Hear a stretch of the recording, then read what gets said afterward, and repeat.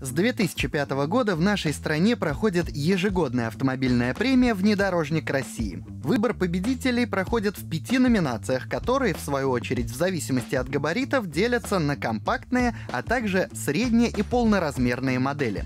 Так, в номинации «Компактные кроссоверы» по версии большого жюри, то есть народного голосования, в котором приняли участие более 12 тысяч автолюбителей из разных регионов, победителем стал новый Renault Duster. По результатам голосования французский кроссовер российской сборки опередил 29 конкурентов, что были представлены в самом массовом классе. Народный выбор в пользу нового Дастера подтверждает, эта модель продолжает успех своего предшественника. Со сменой поколений Дастер сохранил свою ДНК, но при этом стал современнее в плане дизайна и оборудования.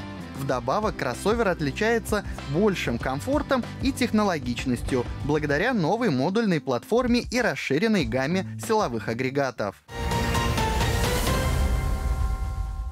Следующая новость от компании Mobilis. Это, на секундочку, подразделение самой группы Renault, что занимается лизингом, каршерингом и подпиской. Так вот, Mobilis неожиданно презентовала новую собственную модель под названием Limo. Седан разработан китайским совместным предприятием JMEV, которое французская Renault и китайская Xinliang учредили специально для выпуска электромобилей.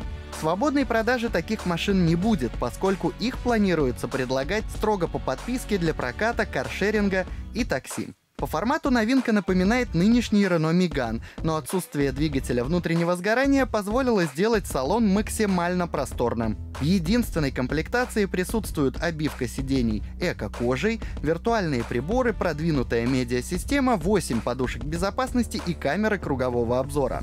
Кроме того, в базовое оснащение включена умная телематическая система, что вполне логично, учитывая узкую специализацию модели.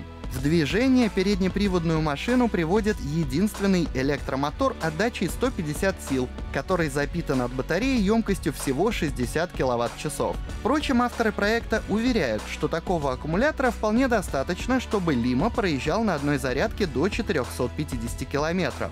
Проверить заявленные показатели европейская публика сможет во второй половине следующего года, когда стартует коммерческая эксплуатация мобилайзов. К слову, сборкой машин займутся не французы, а упомянутая китайская СП.